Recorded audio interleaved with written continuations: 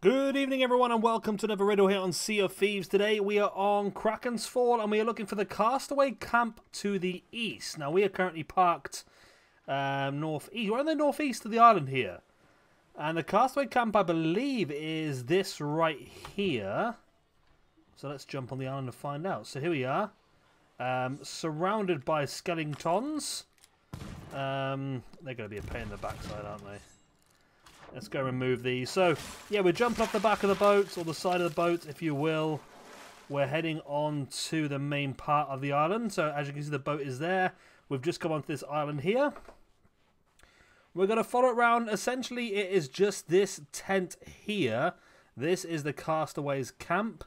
So all we need to do is come in here. I need to play some music. Um, let's play some music. And boom, there we go. So there we go, a nice little 360 where we are right now. But again, essentially we've just jumped on the island from the boat there. Pretty easy to find. So I hope that's been useful for somebody. Of course, if it has been, make sure you hit the like and, of course, subscribe.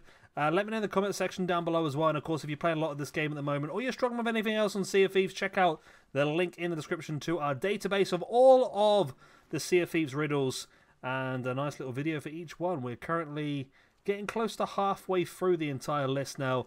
So there's a 50-50 chance I've got what you need. And I hope to see you again soon. Good night. God bless. I'll be Bye-bye.